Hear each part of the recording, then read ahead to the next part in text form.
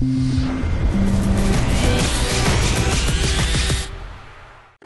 no, I would agree, and uh, you know, also the way we we play now, um, you know, this we can't be positive of, of still making the playoffs. Um, we, we, at this stage we're our own uh, worst enemies because um, uh, I've said to the players now, I don't think any team outplayed us this year, but.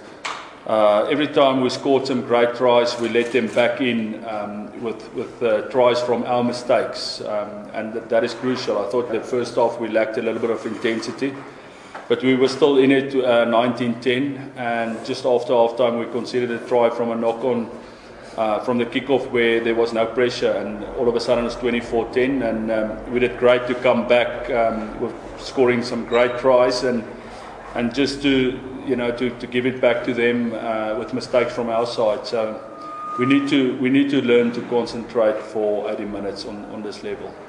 I think you know we we've got to.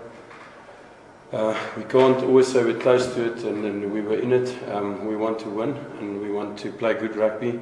We've got the right structures. Um, I think it's when we don't respect that that we put ourselves under pressure and um, we, we all look vulnerable and we all feel vulnerable if we don't stick to what we need to do. It is something that we can fix. Um, I think it's also, it's, it's also difficult because um, we've got a lot of great players that, that can create something out of nothing, but we need to get that balance right between sticking to the structure at the right time, getting in the right areas of the field, and then playing rugby. You know, otherwise you put yourself under a lot of pressure. You know, like I say, we've got the right structures. We've got the We've got the game plan in place. It, it is a structured, we get the opportunity to play rugby from the coaches, but it is in structure. And uh, we need to respect that a bit more and, um, and, and, and realize the difference between winning and losing on this level is a knock or losing a ball on attacking line out or, um, you know, getting, going off the game plan and, and let the Crusaders pin you in your own half. So I'm saying a lot today, but we're still very positive. Um, we haven't lost hope, but we take responsibility and, and, and uh, as players we will fix it because it's, it's something that we can fix. We started here at the centre that evening when we played in that friendly and everyone spoke about it, the impact he had. You know, I, I knew it was a question of time. I mean, he's uh, it was one guy who really broke tackles, got across the gain line.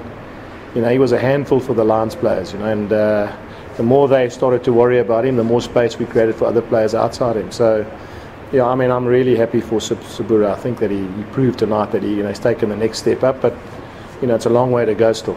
He's one of the quickest players in my team. He's got a left boot. He nearly scored the try of the year when he ran from behind his poles and ended up going right the whole length of the field. You know, if he only had caught that ball, maybe the prop would have scored under the poles. You know, so. I mean, I, I say week in and week out, I think Lwazi has been a sensation at fullback, and, and I'm not surprised. You know, Cory Jane can do both, Ben Smith can do both, here Upland can do both, Vali, Willie le Roux can do both.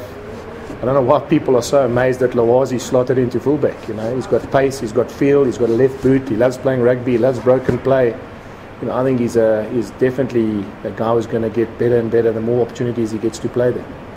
Yeah, I mean it is, but it's at home, and so you know again there's a there's a massive bonus when you play at home. I mean the Cheetahs, although they were quite competitive throughout the game.